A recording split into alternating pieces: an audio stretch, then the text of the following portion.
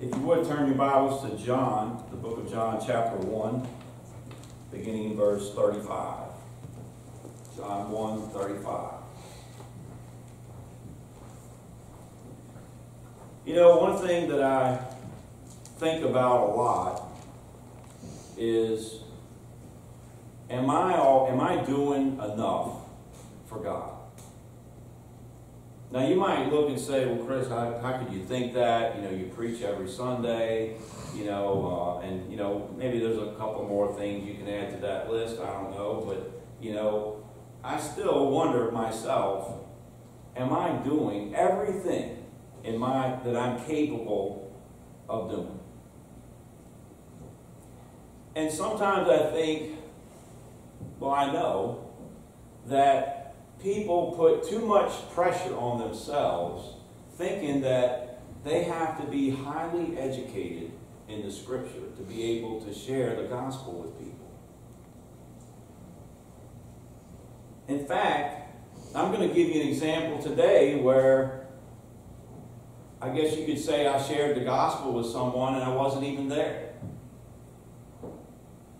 So we have to remember and that's what hopefully you can walk away with today from this lesson is that we have to remember that God is in control of all this. That God calls people to his church. Now, some people don't hear the call. Now, a lot of times that's the ones that we're trying to get. And so we waste our time and effort on people that have never even heard God's call. Doesn't mean they're not going to hear it in the future. Or maybe they already heard it in the past and said no to it. Look at John 1 36, 35 through 51. It says the next day John was standing, that's John the Baptist, right? Was standing with two of his disciples. And he looked at Jesus as he walked by and said, Behold, the Lamb of God. The two disciples heard him say this, and they followed Jesus. And I'm always, I am always amazed by that that, you know, we look at all the things that we try to do to think about how can we share the gospel with somebody? How can we convince someone to follow Christ? And here is John the Baptist and two of his disciples see Jesus walking by, and he says, and they followed him. They just let, now they were disciples of John, but when Jesus walked by, Immediately they followed him. Jesus, in verse 38, Jesus turned and saw them following and said to them, What are you seeking? And they said to him, Rabbi, which means teacher, where are you staying? And he said to them, Come and you will see. Now I'm always, if this is not uncommon for Jesus to do this. Did Jesus answer their question? No, he didn't answer their question. Because Jesus' question was, What are you seeking? And they said, You know, uh, where are you staying? They asked him another question. If you've ever bought a used car, that's a sales tactic. Don't ever, and, right? Everybody's laughing because they know it's true. You answer a question with a question. So, to me, these two disciples are not, they, they are going to follow Christ, but honestly, I feel like they don't really even know what they're doing yet. They don't have a clue. They don't want to, they don't can't, they don't want to answer his question. I mean, if, if somebody said, hey, will you follow me? And without saying anything else, you already knew that following them meant that you could lose your life. A lot of times people, when they're asked a question, they stay silent because, not because they don't know the answer, it's because they do know the answer. Verse 39, he said, Come and you will see. So they came and saw where he was staying, and they stayed with him that day, for it was about the tenth hour. One of the two heard John speak and followed Jesus was Andrew, Simon Peter's brother. he first found his own brother Simon and said to him, We have found the Messiah, which means Christ. He brought him to Jesus, and Jesus looked at him and said, You are Simon, the son of John. You shall be called Cephas, which means Peter. Verse 43. The next day, Jesus decided to go to Galilee. And he found Philip and said to him, Follow me. Now, Philip was from Bethsaida, the city of Andrew and Peter.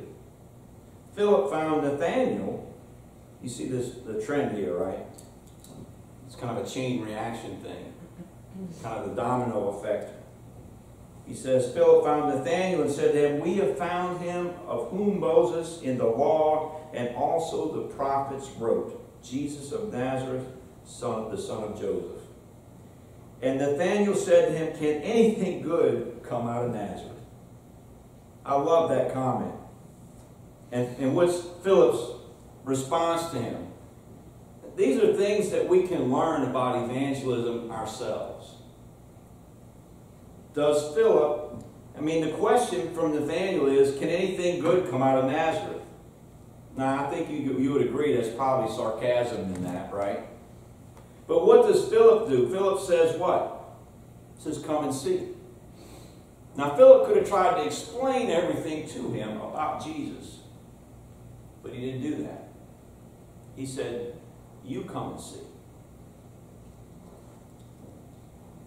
Jesus saw Nathanael coming toward him, and this, I, this is funny too, and said of him, Behold, an Israelite indeed, whom in there is no deceit. So Nathanael says, What good can come out of Nazareth? And then Jesus says, Oh, look, a perfect Jew. How funny. How ironic, right?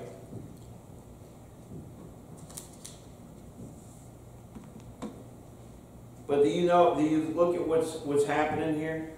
Are these people, are these men that are giving up and turn, turning their life around and following Christ, were they highly educated?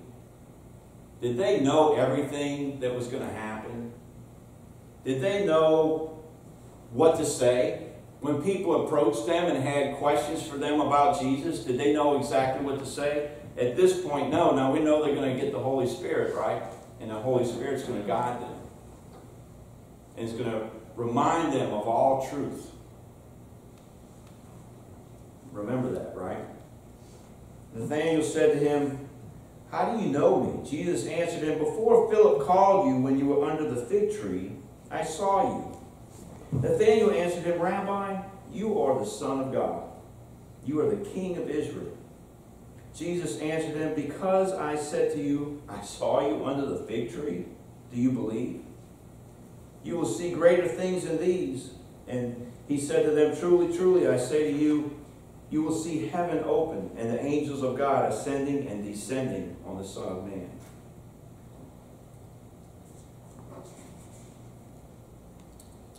You like figs? No? I got a no, I got a yes, I got a yes. I'm going to take it as a no. I can remember before I went, when I was, a, a, you know, in grammar school, getting ready to go to school in the morning, my dad would be, we had a fig tree in the backyard. And especially if there had been a hard rain, I mean, those figs would be like bursting open. They would be huge, you know and we would sit out, we would eat figs together, you know, right off the tree, you know. And I mean, people don't do that anymore. They're worried about, you know, uh, the FDA approved and all that stuff. I mean, we didn't worry about any of that stuff, you know. Brush it off a little bit, it's good to go. But you know, God uses fig trees a lot in the scripture. Now, I don't know if there's something, you know, holy about a fig tree or something, but I guess they were just plentiful there. And so Jesus used the fig tree many times to uh, get, get his message across. So we look at Mark 11, 12 through 14. Mark 11, 12 through 14. On the following day, when they came from Bethany, he was hungry. This is Jesus talking. And seeing in the distance a, a fig tree in leaf, he went to see if he could find anything on it. And when he came to it, he found nothing but leaves, for it was not the season for figs. And he said to it, May no one ever eat the fruit from you again. And his disciples heard it. So, when I read that, I'm, I'm thinking, well, that's strange. So he's basically cursing the fig tree for doing something that it was created to do. Because he says that it was not the season for figs. So if you read down a few more verses, in beginning in verse 20, he's going to explain the meaning of this parable. In verse 20 it says, As they passed by in the morning, they saw the fig tree withered away to its roots. And Peter remembered and said to him, Rabbi, look, the fig tree that you cursed has withered. And Jesus answered them, Have faith in God. Truly I say to you, whoever says to this mountain, Be taken up and thrown into the sea, does not doubt in his heart, and does not doubt in his heart, but believes that what he says will come to pass, it will be done for him. Therefore, I tell you, whatever you ask in prayer, believe that you have received, and it will be yours. And whenever you stand praying, forgive if you have anything against anyone, so that your Father also who is in heaven may forgive you your trespasses. So, what is Jesus telling us with this message? And I still believe that, you know, it's very clear here that Jesus in the scripture says, okay, this is the parable, I'm telling you. And now I'm going to tell you what it means. But I also look at the, the people that he was talking to and looking at, just looking at it from different angles. And, and there's some other things here that I see. Uh, and you can take them or leave them. But, you know, obviously the thing is that God, Jesus is saying is that have faith. That when you ask for something, and, and the thing is, is that people automatically tend to gravitate toward worldly things. They, they say, well, I need, I need another job. I need money. I need another car. I need another house. That if I believe, if I pray, and I really, really, really, really believe that God will give me that. And I think that we all can agree that this is not about worldly things. Jesus is not talking about, uh, you know, having faith so that you can get a new car.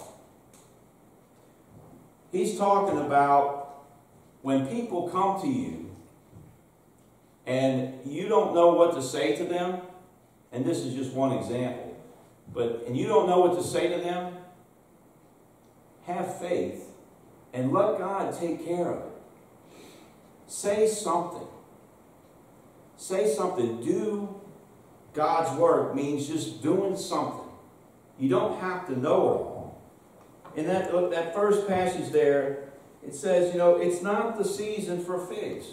But yet, Christ cursed the fig tree. So, one thing that I see in that, and I see it, I, I question myself about it, is that I can be the person that God created me to be. But if, if I'm not doing something if I'm not bearing fruit, whether it's in season or out of season, I need to be doing something for God. And if that's the case, if, I, if that's not happening, then there's going to be some problems in my life. I, I don't. I believe that God has a problem with that. I want to tell you a story from this week. Um, and I think it fits in perfectly with this. So I have a, uh, a gentleman that's a, a, heavy equipment technician that lives in Jacksonville, Florida. And we've become really good friends over the last five or six years. Well, about two and a half years ago, he was diagnosed with colon cancer. And so, um, you know, it was a trying time for him, you know, and he had to have surgery. And I tell you what, to testament to him and to his faith, is that um, I don't think he missed a total of a whole week's worth of work. I mean, he had a colostomy bag and every, I mean, he had the whole deal done. And still went to work every day. And, I, am not talking about an office job either. I'm talking about working on heavy equipment. So in the early, when I found out that he had cancer, of course, I would talk to him, you know, almost every day. But when I made a trip to Jacksonville, I brought with me one of the Bible studies that we have here that I leave on the little table over there. And I talked with him a little bit, and I said, you know, make sure when you do this study, I said, you and your wife do it together. I said, you know, just take your time, you know, and make sure that you answer the question from the scripture. Don't answer it based on what you've been taught, what you know, what you think you know. And then I prayed with him. And then we went on about our business, and he went through his treatment, and he got better, and he's doing great now. He's doing fantastic. So this past week, we met up. We had a function that we both had to attend. Um, one of those dog and pony show things, okay? So we were talking, and I, I've been struggling with some things at work and so forth. And he said, Chris, he said, you know, he said, I don't know if I could have made it without And it kind of shocked me because I didn't really feel like I did anything, you know? I was just, I loved the guy. I was just being humane to him and praying for him, you know, and giving him encouragement. And he says, Do you remember that Bible study that you gave me? I said, Yeah. He said, Well, it took a while. He said, It took about five months, which is a really long time for that study. But he said, We use, we even use like five different Bibles, different versions of the Bible, because, you know, you want to be careful that it's not being set up a certain way. But then he said, he said, man, he said, that changed our life I said, did you guys get baptized? He said, you know, we both had been baptized years ago. He said, we got baptized. And I'm going to tell you, we are standing at this thing, we were off to the side, and I started crying. And so here these two grown men crying on each other's shoulder, I said, we better take a walk here before people start talking, you know. But I tell you that story, not, not that it's anything about me, but it's about, it's about God's Word. If people read God's Word, it changes them. And it doesn't matter whether you're sitting there with them or not. Is, it, is that the best way I would, I would plan to do it? No. But it worked. And it made a difference in their life. And it looks like for an eternity. So that's awesome. So even though we think nothing's happening. I mean, that, that whole time there, I just thought, this is a dry spell, you know. I mean, you go through those, right, where you just can't, you know, you're talking to people and there's, nobody's receptive. We have to remember, I have to remember, that God's in control of this. And His Word is awesome because it can convince and convict people of things that I can't.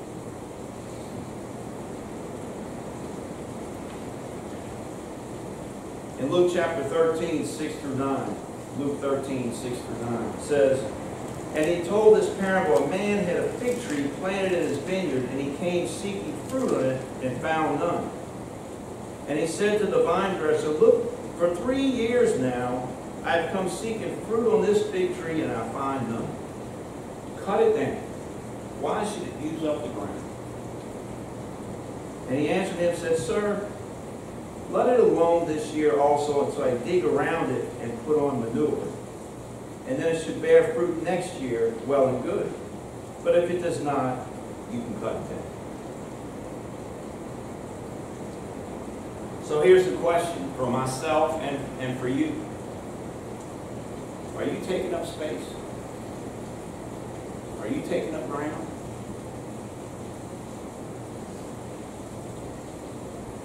You know, back in Nathanael saying, can any good come from Nazareth? Can any good come from Slidell, Louisiana?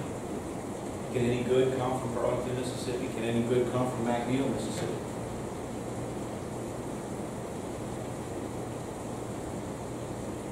You know, the, the owner of the vineyard said, cut it down. It's taking up space. But the vine dresser says.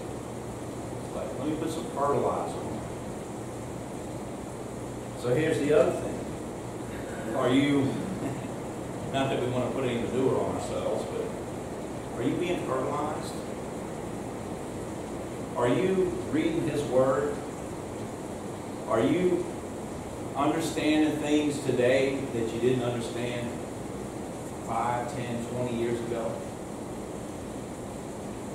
Are you just sitting there under the fig tree with no fruit to bear, just happy saying, hey, I'm, I'm a Christian. I'm in the Lord's church. But you know, I'm not, I'm not a people person. Do you think that those disciples, as Jesus walked along the beach that were fishing, do you think that they were people person? They were people person? Do you think that they had all the skills, the people skills and the knowledge and everything to, to do what Christ needed them to do, which was basically sacrifice their life for him?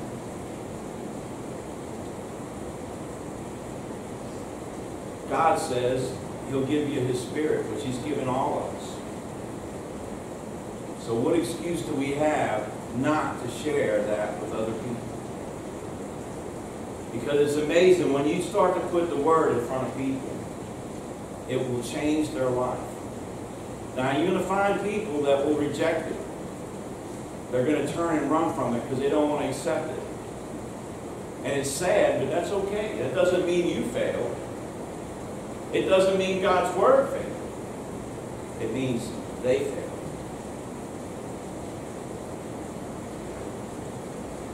The Great Commission, we all know it.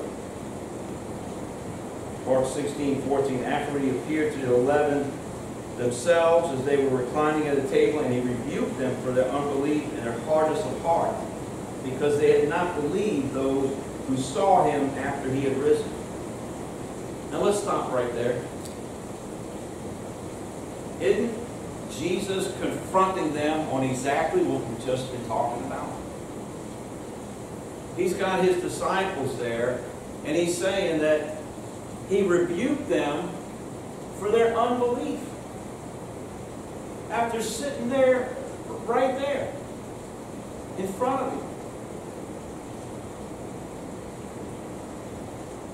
He says, Go into all the world, proclaim the gospel to the whole creation. Whoever believes and is baptized will be saved. He who does not believe will be condemned. Now, so, so much we always want to focus on the baptism? And it's a, it's a valid point. I'm not saying we shouldn't. But a lot of times we, we focus so much on that one verse. It says, Go into all world, proclaim the gospel to the whole creation. Whoever believes and is baptized will be saved. We focus on that so much that we miss the part of why he was saying it. He was saying it because his people, his disciples, did not believe. Even after everything that happened, he says, he rebuked them for their unbelief and their hardness of heart. I don't want myself or you or anyone else to fall into that category. That because of my hardness of heart, that I don't share this blessing, this tremendous blessing that given.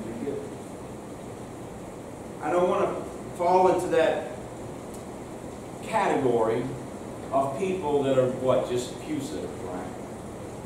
They're they're excited because they come every week and they sit in the pew and they uh, they feel real holy.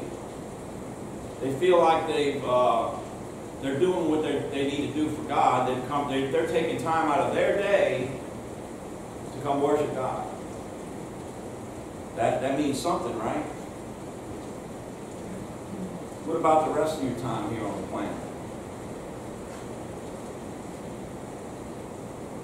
There's going to be a lot of people that when their day comes and they stand before God, they're going to have to answer to why, if, if they loved Him so much, why did they not share it with other people? And you know, the world has taught us, once again, that we need to see completion, right? We need to check the boxes. We need to, okay, well, we're going to study, you're going to repent, we're going to do that, we're going to, and you're going to get baptized, we're going to do that, and you're going to come to church on Sunday, and then you're going to come to church on Sunday night, and then Wednesday, on and on, right? We want to check those boxes. I'm sorry, it just doesn't work that way. It just does not work that way. People have to, it takes time for people to accept and change their life. I mean, maybe you can't remember that in your life. I can sure remember it in mine. It took me a very long time. Now, even though I was baptized, and, and God told me in His Word that if I was baptized, that I received His Holy Spirit, that I was a Christian, that I was sealed with the Spirit. And I could hang on to that, but the problem is that I still had a lot of things in my life I had to. It took a very, and I'm still learning. I'm still changing. But don't ever think that you're not good enough to share. Because God never intended that. It's, it's a simple thing, and when, and when you start to study with somebody and you just answer some simple questions, and you start to see how their life, the way they're thinking, you, you can see it happening right in front of you. They're thinking about what they're reading. And they're, sometimes it's people that they're, they're thinking about and they're saying, you can, you can just hear it in their head, I guess you might say. This is not what I was taught. This is not what I believe. No, this is what this is different than what I've been taught my whole life. Let me tell you something, when somebody's when you get to that point and they say, I want to be baptized. And you know, one of the things that I've always done is I go by and say, Are you sure? Do you understand what this means? You know, just recently we had a baptism here.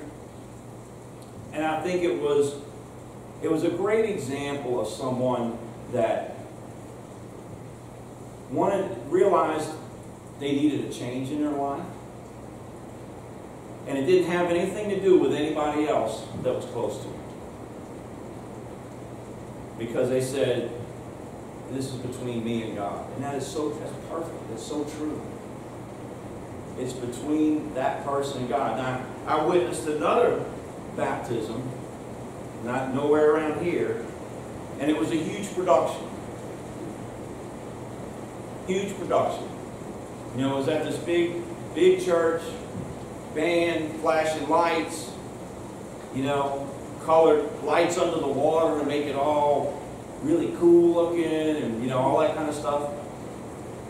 Everybody, you know, it comes up out of the water, everybody's cheering. Instead, we've got somebody that we took over to a neighbor's swimming pool. And just between them and God, said, hey, you know what? I'm going to change my life. I know we all have a lot of changes to make in our lives. I know I got plenty. And I think till the day, the last breath I take, I'm going to be, I'm still going to be doing that. We're going to be changing. But we need to pull together as a congregation, as, as brothers and sisters, and say, you know what, we're going to share the gospel. And I may not be smart enough, I may not, I may not, you, you can list all the excuses, right? We all do it but I'm going to do it anyway. I'm going to be like that disciple that was on the beach. And when Jesus walked by and said, follow me, I, they didn't even think twice. They got out and followed. That's, that's the people that God wants us to be. Don't worry about all the other stuff. Get up. Let's do something as we stand and sing.